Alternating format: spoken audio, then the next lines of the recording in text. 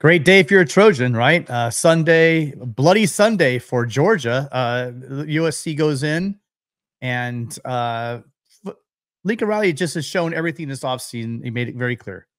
He says very clear. We know we have an issue on defense. Everything we do going forward is going to address that to make uh, to give USC an elite defense. How do you do that? Well, you fix the coaching staff. He did that. What's next? Bring in the players. And uh, I think that USC made a huge splash yesterday. Uh, all great pickups. But the marquee one is anytime you go into Florida, you know, um, uh, Manchester, Florida, Georgia, sorry, going to Georgia, Manchester, Georgia, pull out Justice Terry, uh, who was committed to Kirby Smart and the Georgia Bulldogs. And now he's going to be a Trojan. Uh, big defensive lineman, 6'5, 275. He's going to pack a lot of weight on. We know that uh, over this year and then one year in, in the system. Uh, he is a, a, phenomenal guy, just huge motor. Uh, everybody, I mean, the, you name it. This is your five star, your prototypical five star defensive lineman from the state of Georgia. Coach Henderson rolls in, says, "Let's go," and he decided to go. And really nicely, uh, perfect timing, just happened to happen when all these defensive linemen were on the were on the campus this guy named Aaron Donald, and maybe you've heard of him, decide just to show up on campus and and give a glowing report of just how much uh, Henderson meant to him, not only him, but also the entire Rams defensive line, saying things like, I know as long as Coach Henny's here, uh, these guys will be disciplined, they'll be flying around, uh, they'll be making plays uh, and getting ready for, for the pros. So uh, if you listen to Justice Terry, if you listen to Isaiah Gibson, uh, in, when they talked about why they're coming to USC. In the past, we used to have a lot of guys, a lot of interest in USC. They come out, they get a nice trip out to Los Angeles, right? They talk how beautiful the sunshine was, how beautiful the campus was, what a great school USC is. And the one thing you would never hear is how great the coaches are, right? All these guys gloat about the fact that they they love the, the development. That word, there's that word, the development, development. Uh, it's been it's been a theme for Lincoln Riley in the offseason. And both guys use that word development. And, and when they described why they wanted to come to USC, they saw how they would fit in um, Lynn's system and how uh, Coach Henderson is going to develop them into NFL players. As we start to run down these individual players, four aspects of this hit me about why this is so important for USC and why it is so meaningful, impactful. Okay, number one is anytime you bring in recruits, regardless of their position, that have single numbers next to their names in their recruiting rankings, whether that's nationally or within their state or certainly at their position and nationally, that's a big deal because you're bringing in the very best. And yes, for those people that knock recruiting rankings, not all of them turn out, but it's a numbers game. The more you bring in, the more likely they will turn out because the top of the board brings in the best talent. It's a numbers game. So when the skinny numbers are next to the players in question that you're recruiting and signing, eventually, hopefully that's the the result of all this, signing them in December, then that's that's point number one. The the evaluation of these players is ridiculously high. Uh, number two would be their position. So hey, regardless of position, I'm sure Lincoln Riley wouldn't mind having the number one wide receiver, the number one running back, but these are defensive linemen. These are defensive linemen, two of the top 20 in the nation, two of the top 20 players, not defensive linemen, two of the top 20 players in the nation going to USC as defensive linemen. So that's point number two defensive linemen. Uh, point number three would be they play high school football in the state of Georgia. As you pointed out, uh, to pluck these guys out of the state of Georgia, where Kirby Smart has been the best recruiter in college football for five or six years. And then point number four, not only did you get them out of Georgia, but one in particular, of course, Justice Terry had already committed to Georgia, and you're able to turn his head and flip him around. That's all extremely significant to me. Yeah, and and if you want to break down the raw numbers, so the fact that they are all from Georgia, well, so let's just say they also have Julian Lewis, right? The quarterback, the phenom quarterback. For some reason, all the apparently now he's not very good. Now that he's doubled down his commitment to USC, he keeps dropping in the rankings from some unknown reason. But we'll see. We'll see how that ends up. But um, currently, USC has the number 13, number 16, and number 17. All three of them from Georgia. All three of them uh, committed and committed early. Now the key is going to be is can you hang on to them? You don't sign kids in March, right? Uh, it's great that they're here. We've seen in the age of NIL, we've seen bags dropped up in Eugene. We've seen last minute switches for USC. We've had top linemen. The, the key here, the difference, I think, though, um, when these national pundits say, "Oh, remember, you know, this happened this year," they, they went back, you know, five, six years talking it. But that's that's moronic because there's a completely different coaching staff here now. These guys listed the reason why they want to come to USC is not because it's sunny and, and going to the beach, right? And then beautiful and education. They said, I want to go to the NFL. Uh, this guy Henderson's pretty good. He knows this guy Aaron Donald, who gives him a, a glowing uh, report card. We want some of that, and um, those are the reasons why I think that these things are going to stick. Do they all stick? Who knows? But the fact is, you're laying up three, you know, four guys here. Uh, uh well, three guys. We'll, we'll get to uh, Hylton Stubbs next and Cordova, but you've got three guys here from Georgia. You know, the, the, think about this. They're the number. Let me take a look at. So according to two four seven, uh, Terry's the number two, uh, no, sorry, number three player to state. Lewis is number five player to state, and Gibson is number six player to state. All we've been hearing, guys, about how USC can't land the top players from their own state. Well, that's that's three guys in the top six from Georgia. If they stick, USC just went in the backyard of the state, which is really the hot state now for recruiting. When you hear people talk about recruiting, they talk about Georgia recruiting, and USC walked right in there and plucked out three of their top six, half of the top six players in Georgia. And uh, there's one more thing you got to remember.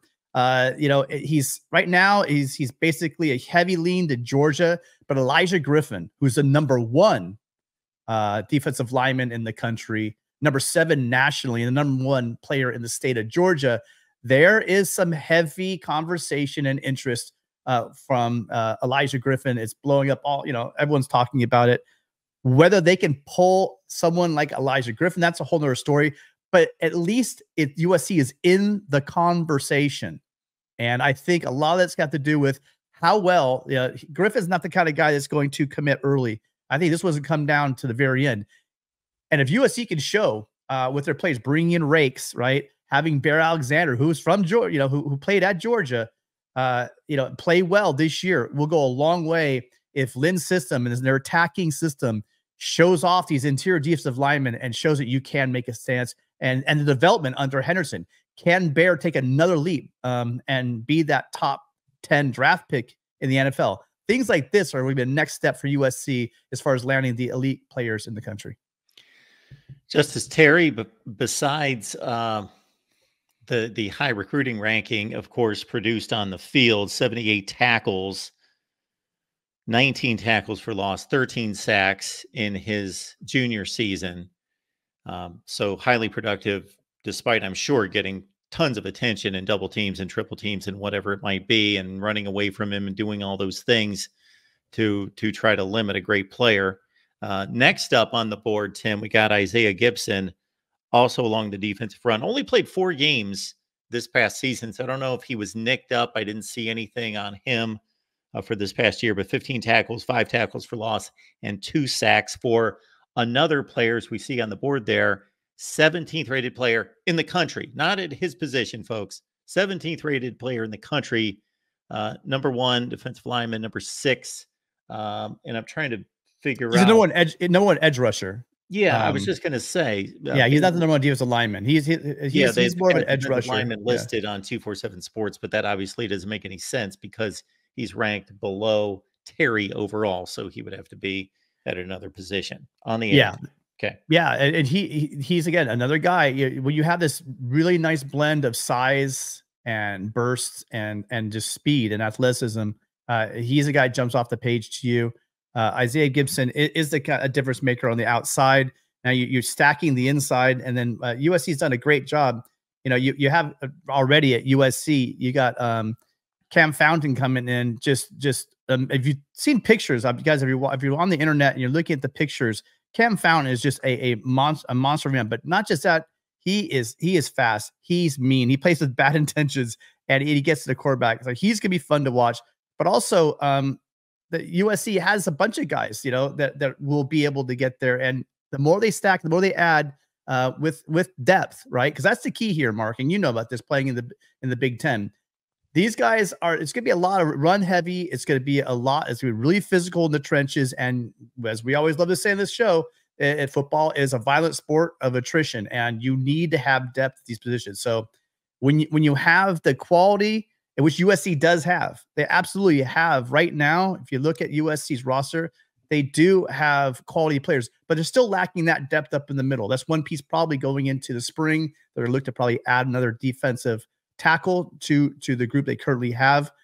But um, I, am excited. It's, it's with with Henderson and with Nua, what they're going to be able to put together on on the defensive line. Once what was once a weakness for USC uh, is clearly now with the size and strength they're putting into it uh, a huge thing. Remember, they joked about last week. Um, you had uh, Lincoln Riley joke about the fact that the defensive line gained 340 pounds as a unit. So they, they put on this, they put on a lot of weight in the offseason, getting ready for a physical Big Ten schedule they're going to have and LSU and Notre Dame. I mean, think about the teams they're going to be playing, and they're bulking up. They're not going to be shoved around anymore. That's for sure.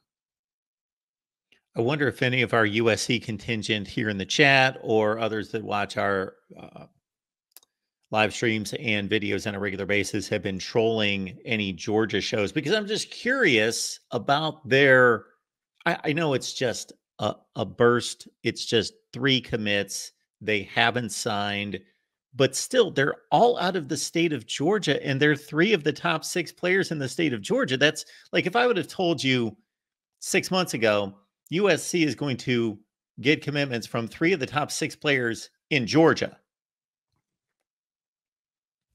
Well, the, the thing is, is and, and, and, Chris Trevino over at 247 Sports made a, made a good point. I was looking at last year, right? Last year, USC had a really good haul in Georgia. They they got three star defense end um, Lorenzo Cowan, uh, and then they got Cam Fountain, the, the young guy I'm talking about, uh, the, the defensive end that's going to be just, I think he's just going to be a monster. Um, and then also uh, Walter Matthews, tight end, four star tight end all out of state of Georgia, and they they have been working Georgia really hard. I mean, it's been it has been emphasis. The the USC coaching staff, you know, has got a lot of crap for not getting the local talent from um, St. John Bosco and from um, from Mater Dei.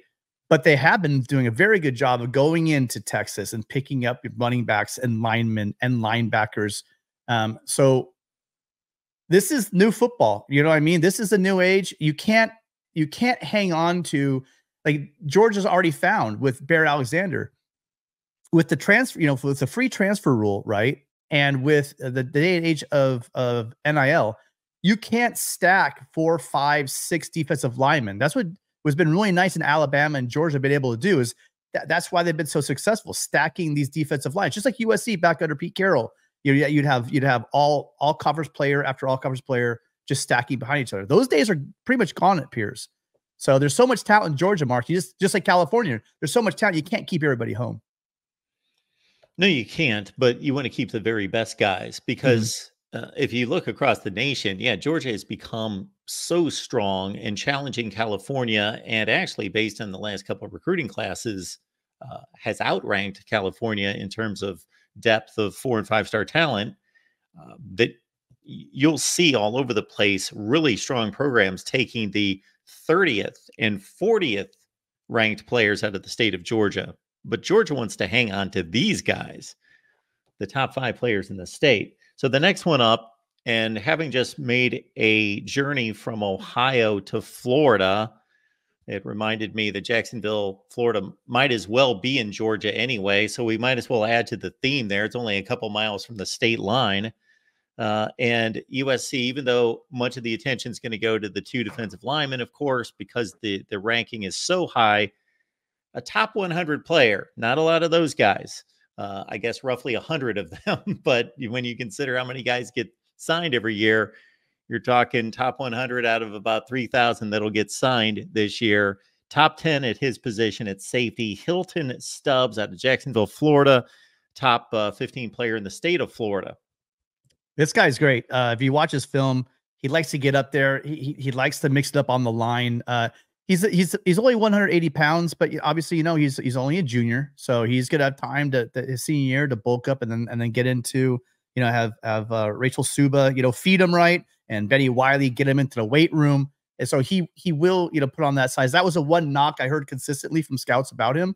Uh, but when you watch him play, you certainly don't see that. Obviously, he's playing high school talent, um, but you you will see him get up there mix it up. He seems like he's got a you know, high motor. He seems to be around the ball quite a bit.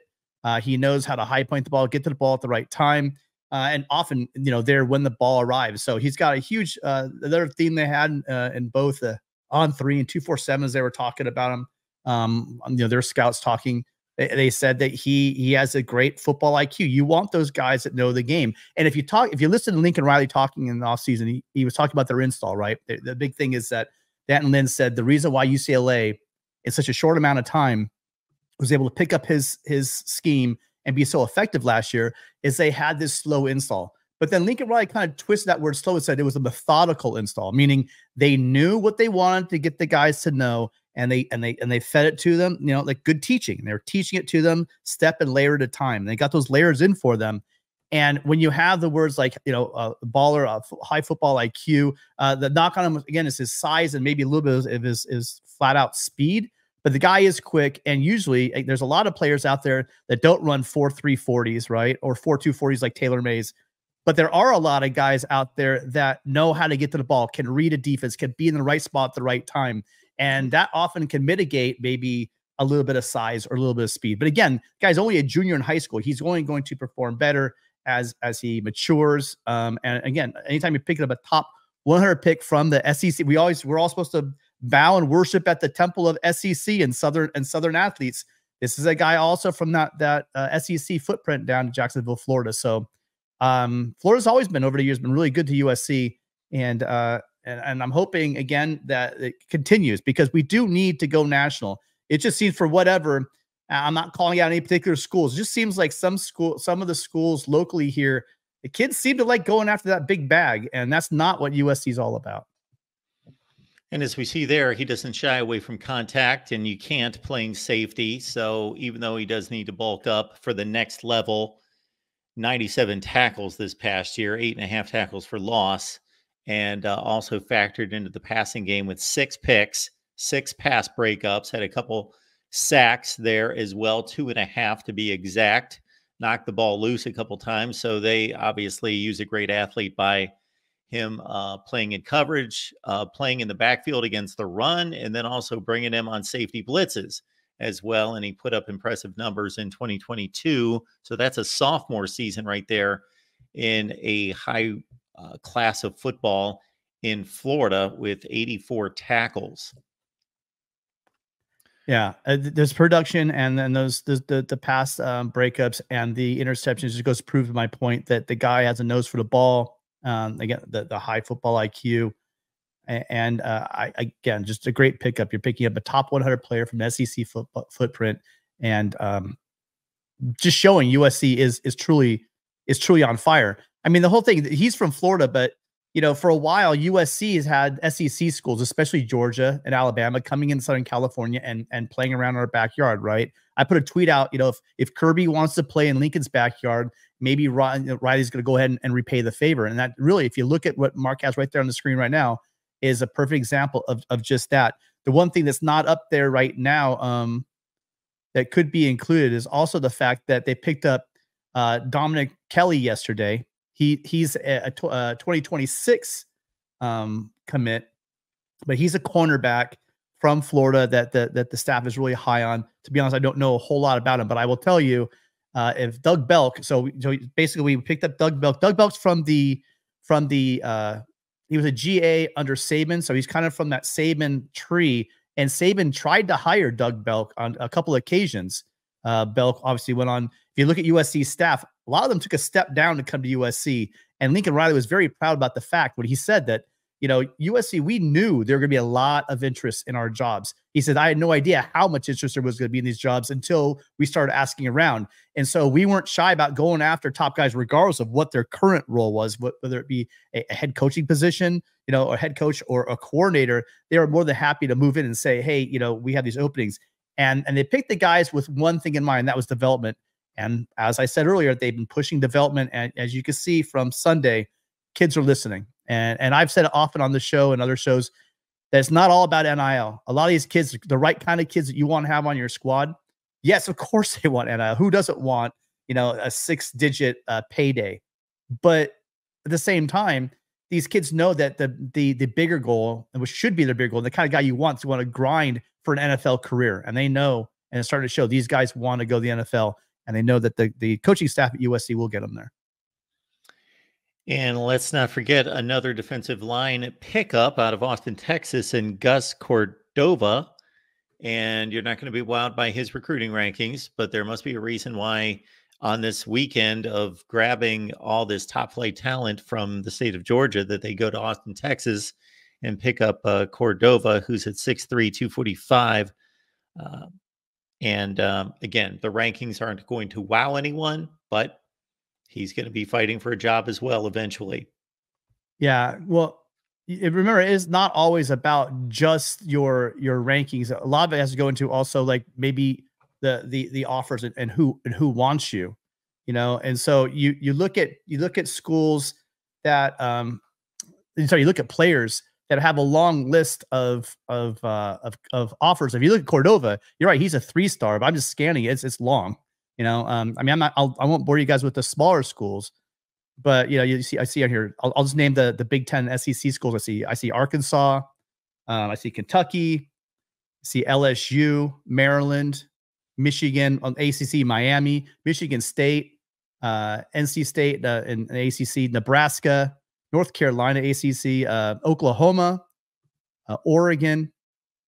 Uh, you see Pitt from the ACC, Purdue, Tennessee, Texas, Texas A&M, uh, Washington, and Wisconsin. So this guy has a huge offer list, uh, and uh, that might be the reason. It's not all about those numbers. That stuff. A lot of it has to go with the, players going to camps and, and and the measurables and and whatever. But there's obviously something about this kid. Uh, I don't have a lot of film on him. I haven't seen a lot on him. But there's obviously something. If he's going to land that many offers uh, there's something about him that interests uh, a lot of coaches out there.